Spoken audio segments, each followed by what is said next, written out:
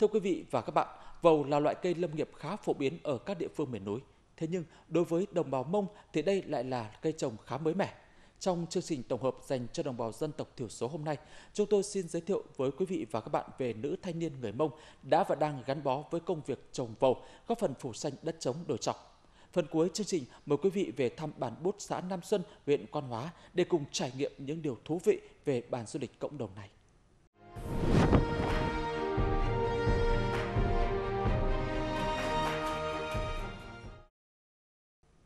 Với khát vọng được làm giàu từ rừng và phủ xanh đất trống đồi núi trọc trên mảnh đất quê hương, những năm gần đây, gia đình thanh niên trẻ Hơ Thị Cho, bản Trái Lầu, xã Nam Mèo, huyện Quan Sơn, tỉnh Thanh Hóa đã luôn cần cù, chăm chỉ gắn bó với rừng. Hiện nay, diện tích đồi núi trọc trước kia của gia đình chị Hơ Thị Cho đã được phủ một màu xanh của cây vầu, hứa hẹn mang lại nguồn thu nhập cao trong thời gian tới.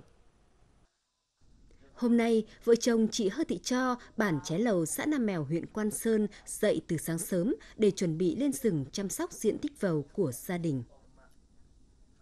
Con đường từ nhà Hơ Thị Cho lên đến quả đồi trồng vầu của gia đình khá xa, trừ những đoạn đường có thể đi bằng xe máy, còn lại hầu hết phải đi bộ khá vất vả.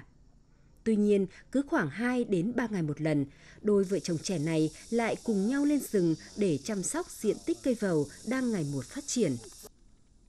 Cũng như các hộ người Mông khác ở bản Chế Lầu, sau khi xã Nam Mèo triển khai xây dựng mô hình trồng vầu theo dự án hỗ trợ phát triển thuộc chương trình 30A và nhân rộng mô hình giảm nghèo thuộc chương trình 135 của chính phủ, Tháng 8 năm 2020, gia đình chị Hơ Thị Cho được bản chia 2,7 hecta đất vườn rừng để trồng vầu. Thời gian đầu, do chưa quen với loại cây trồng mới này nên gia đình chị Hơ Thị Cho còn khá lung túng trong việc trồng và chăm sóc.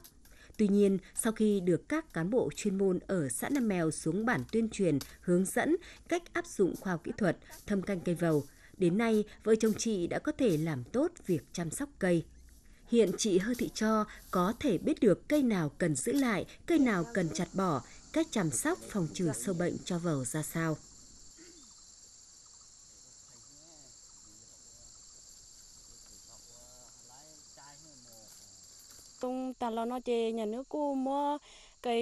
được Đảng, Nhà nước quan tâm đem giống cây vầu về trồng ở bản, bà con ai cũng phấn khởi.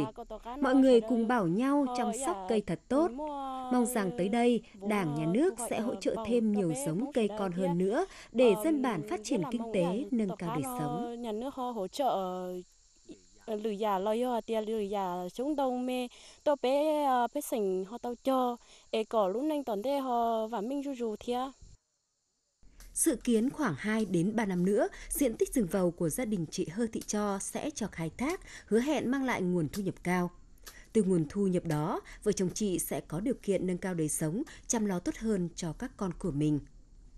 Tại bản Trái Lầu, không chỉ có gia đình chị Hơ Thị Cho mà 65 hộ dân với 307 nhân khẩu người Mông cũng đang rất tầm huyết với việc trồng rừng, phủ xanh đất trống đồi chọc.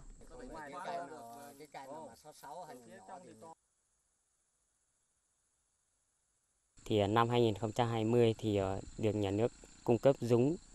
giống về cho nhân dân nó trồng để à, phát triển kinh tế cho sau này thì bà con nhân dân cũng rất là phấn khởi từ đó thấy cuộc sống của nhân dân nó có cái à, sự à, tiến bộ tiến triển và có cái tâm huyết và chăm sóc tại vì cây vào trồng cây vào là nó mới có tương lai cho con em sau này Hiện nay, những quả đồi chọc trước kia ở bản mông ché lầu đã được phủ một màu xanh của tre vầu. Kết quả đó chính là nhờ sự nỗ lực cố gắng của bà con dân bản. Từ nay, diện tích rừng vầu sẽ đóng góp một phần che phủ đất để không bạc màu nữa, làm cho nước cũng sạch, khí hậu cũng mát, giúp ích cho bản làng có một cuộc sống tốt đẹp hơn.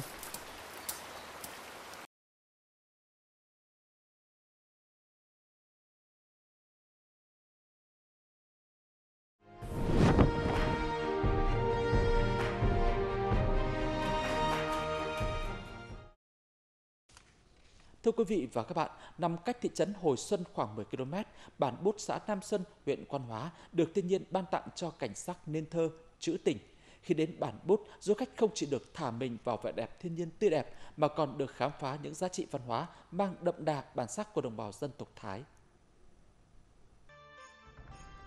Bản Bút là nơi sinh sống của 105 hộ dân tộc Thái. Hiện bà con vẫn còn lưu giữ gần như vẹn nguyên những nếp nhà sàn truyền thống, những phong tục tập quán độc đáo, những trò chơi, trò diễn dân gian.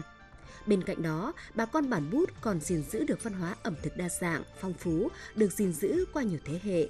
Tất cả đã tạo nên một bức tranh đặc biệt, khó có vùng đất nào có được.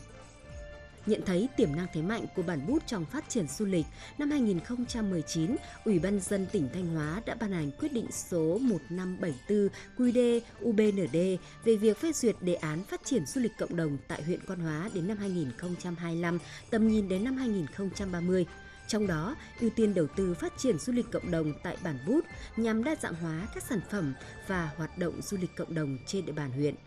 Theo đó, xã Nam Xuân đã lựa chọn 5 hộ gia đình ở bản Bút để làm thí điểm dịch vụ du lịch homestay. Hầu hết các hộ đã mạnh dạn đầu tư, cải tạo không gian, sưu tầm những vật dụng, trang phục truyền thống của đồng bào các dân tộc để trưng bày bán lưu niệm cho khách du lịch. Gia đình bà Ngân Thị Chìm là một trong năm hộ dân đầu tiên được Ủy ban Nhân dân xã Nam Xuân lựa chọn để đầu tư phát triển du lịch cộng đồng. Vốn là nông dân quen với công việc nương rẫy, thời gian đầu làm du lịch, các thành viên trong gia đình bà Chìm không khỏi bỡ ngỡ lo lắng. Thế nhưng nhờ có sự hướng dẫn và sự tự học hỏi mà đến nay gia đình bà cũng như bà con bản bút đã có thể tự tin khi đón khách. Khi khách đến nghỉ tại homestay của gia đình bà, họ được ăn cùng ở cùng với gia chủ, cùng cảm nhận cuộc sống bình dị, thuần phát, mến khách của người dân Thái bản địa. Ngày xưa, các bà các mẹ làm việc quần quật cả ngày, sáng giã gạo, tối giã sắn. Mỗi khi nghỉ ngơi, các bà lại cùng nhau khô luống, tạo nên những giai điệu vui nhộn nhằm xua đi những mệt mỏi. Dần dần, từ những giai điệu mộc mạc ấy thành những bài khô luống được nhiều người yêu thích. Đây chính là nét văn hóa rất được khách du lịch đến với bản yêu thích. Xác định phát triển du lịch cộng đồng là tạo công ăn việc làm, góp phần nâng cao đời sống vật chất tinh thần cho chính mình, nên mỗi người dân bản bút đều tích cực tham gia. Từ việc học hỏi cách thêu khăn dệt vải đến thể hiện các làn điệu dân ca Thái, tích cực sưu tầm để giới thiệu quảng bá các nét văn hóa dân tộc đặc sắc, bởi vậy, khi đến thăm bản bút, du khách sẽ được nghe các hướng dẫn viên bản địa xinh đẹp duyên dáng giới thiệu về văn hóa truyền thống của dân tộc Thái, được dẫn đi thăm các ngôi nhà sàn cổ có hàng nửa thế kỷ. Chắc chắn sẽ là những trải nghiệm khó quên với mỗi du khách khi đến thăm bản bút. Có thể thấy, du lịch cộng đồng tại khu vực miền núi Thanh Hóa nói chung và những bản Thái nói riêng luôn có sức hấp dẫn lớn đối với du khách.